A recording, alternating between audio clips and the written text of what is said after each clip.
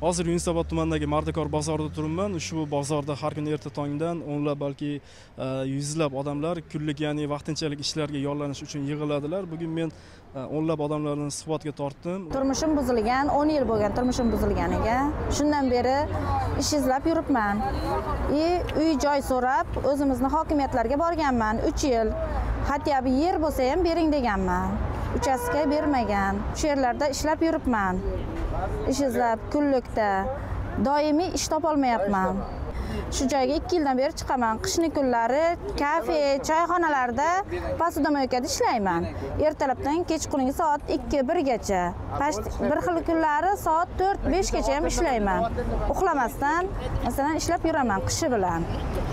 Ko'chalarda qolib ketdim masalan shu toshkentda ham. Ko'chalarda qolib ketib ko'chalarda yotib boshqa o'qiganim yo'q. Faqat nima ish bo'lsa halol peshona terim bilan pul topib ishlab yuribman. Bir kunda ellik oltmish ming почти bir xil kunlari ikki kishini o'rniga ishga chiqaman yuz ming bir yuz ellik minggacha chiqaman. Bu hayotingizga yetadimi? Hayotimga yetmaydi. Endi ilojim yo'q ishlashim kerak. Nima qilishim kerak? Doimiy ish topolmagandan keyin shunday qilib yuribmanda. Endi masalan o'zimizni jizzax viloyatida jizzax viloyatida mana davlat ishlariga borib ish so'raganimda ish o'rni yo'q. Unday bunday deb javob bergan. Masalan o'zimni kasbim tikuvchilik. Lekin borganman shunda ham kunlik. Masalan o'n besh mingdan. o'n besh ming hech narsa bo'lmaydi jizzaxda. O'zingiz bilasiz. Bitta noningiz ikki ming so'm ikki yarim ming so'm bo'lgandan keyin. Oddiy farroshlik bo'lsa ham ishlayman. Faqatgina menga pulini vaqtida berib turar joyi bilan ta'mirlaydigan bo'lsa liboy joyda ishlayman. Men qo'rqmayman ish qilolmayman deb. Chunki stroykada ham ishladim. Vaqti keldi. Shu to'qqiz yil oldin bir yarim yil stroykada ishladim. Zangatada mm, daratel degan joyda to'rt yuzta kottej qurildi. Shu to'rt yuzta kottejda lombazda ishladim. Lombaz qildim. Bir yil полный g'isht terdim. И anaviga kunlikka puli bermagan paytlari bir kunda shebellar tushirardi shebellarni договор qilib aravada tashigan kunlarim ham bo'lgan. U mehnatdan qochmayman liboy mehnatini qilaman. Faqatgina menga turar joy bilan ish bilan ta'minlasin bo'ldi. Hukumatdan. Nimani xohlaysiz? Hukumatdan hukumatdan men doimiy ish bilan и turar joy bilan. Хотя бы bir xona bo'lsa ham uy xohlayman. Mayli pulini to'layman. Ishlab o'sha pulini to'layman. Kreditga bersa ham men roziman. Men norozi emasman chunki pochchamni qo'lida yashayman. Yilda bir marta uyga boraman unda ham bir kunga boraman. Kechqurunni yetib boraman ertalab qaytib kelaman. Shuningdek ular ichki ishlar xodimlari tez tez bu maydonga yig'ilgan mardikorlarni haydab turishini ham aytishadi lekin men hozir e, ikki nafar ichki ishlar xodimi bilan suhbatlashdim. E, xodimlarning aytishiga ko'ra bu alohida mana bu men turgan maydon e, aynan shu mardikor bozori uchun mo'ljallangan lekin odamlar bu maydondan foydalanishmaydi. E, buning o'rniga ular yo'llarga chiqib ketishadi katta mashina yo'llarga chiqib ketishadi deyishadi. Shuning uchun biz jamoat tartibini saqlash maqsadida e, odamlarni tartibga keltirib turishga majburmiz deyishadi ichki ishlar xodimlari. Necha marta yozdik portaliga ham yozdik. Viloyat hokimi bilan ham gaplashdim. Учетim so'xtada farg'ona viloyati so'x tumanida. Oldin o'zim qo'qonda tug'ilganman. Gaplashdim ular yigirma besh foiz o'ttiz besh million bosh to'lovdida ana shu paytda bizni uyimiz yo'q ko'chada qolgandik to'g'risi xotinim men yangi kelinchak bola qonida bolasi bor edi o'shanda. Bo'pti qilib beraman dedi. Yigirma besh million o'ttiz million oy bosh to'lov dedi menda u pul yo'q hozir. U pulni men qayerdan topib unga men to'lashim mumkin. Bu joyga chiqishingizdan oldin qayerdadir ishlagansizmi doimiy oylikka oylikka ishlaganman oylik yetmayaptida aka. Qanaqa ish ishlagansiz? Mol boqqanman. Hamma paxtaga chiqqanimiz kerak bo'lsa. To'g'risida bu aybi yo'q buni. Просто uyimiz yo'q shunga jinday yordam berishini so'rayman. Ishonmasa ana uyga borib ko'rsin bitmagan uyda yashayapmiz. Hozir ham olib borishi mumkin. To'g'risi toshkentda ha o'sha o'sha bitta baxtiyor akani uyida o'sha yaxshi odam jiddiy yordam beradi.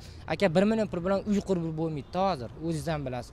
Oylik to'g'ri bir million topasiz ikki million topasiz u pul bilan bitta uy qurib bo'lmaydi yig'ib bo'lmaydi u pulni и bek aka mersalar ham kelib haydaydi bir xil paytda hammani haydaydi sizlar ham aytinglar haydamaydimi yo?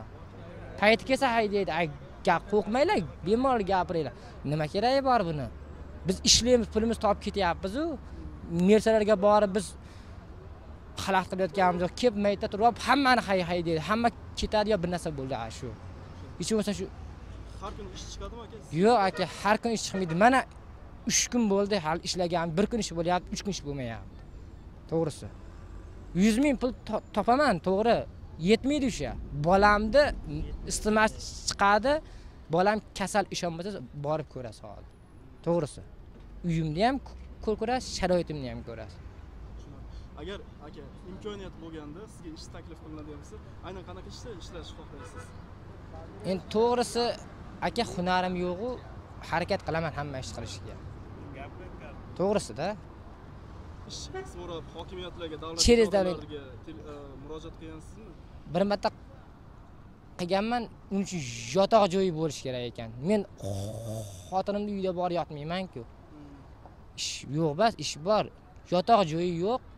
Birinchidan aka ikkinchidan davlatda oy- oyligi bilan ishlagan pulim uy qurishga puli yetmaydi. Bir million bo'lar ikki hech jahonda besh million pul bermaydiku davlat oyiga. Shunaqa aka. Mayli meni nima qilsa qilaversin. Men yomon gap gapirganim yo'q bu yerda to'g'risida hozir nimani xohlaysiz davlatdan? Uyimiz yo'q mana shuni xohlayman. Hech bo'lmasam yer berishini xohlayman to'rt sotik. O'zim qurib olaveraman mayli bir bola qilib sovuq tushgandan keyin ham ishlaysizmi bu yerda? Ishlashni davom ettirasizmi? Ha chunki boshqa joyim yo'q yerdan boshqa aka. Bu yerdan borib qaynamni uyda yotmaymanku. To'g'risida to'g'risini aytaman. Bu yolg'on bas ustimdan kulsalaring ham mayli aka. To'g'risida. Shunaqa. Asosan qanaqa ishlarni qilasiz? To'g'risi kunlikka chiqaman mol boqaman. To'g'risida men aytdim qo'qonda xotinim tomonidan chiqavdik portalga. Menga joy bergin mol olib kelib bergin men boqib berib beraman. Hech bo'lmasam bir foizini bergin dedim. Mayli qolgan davlatga go'shtga ketadi dedim. Qilib bermadi shuni. Agar menda yerim bo'lsa o'zim mol olib ham boqaveraman. Просто joyim yo'qligi uchun. Faqat kunlik kun pulim aka o'n ming pul qoladi qolgani bolalarim ketadi. O'n mingga nima beradi? Hech nima bermaydi. Aka bo'lsa obed ham qilishimiz kerak bo'lsa. Agar bunday olib qarasangiz to'g'ri uchta non berar balkim lekin qorningiz to'ymaydi. Mardikor chiqib ishlolmayman shuning uchun o'zim damashni uydan ovqat qilib sotyapman. Ishchilarga. Shuni sotganimni qo'ymayapti.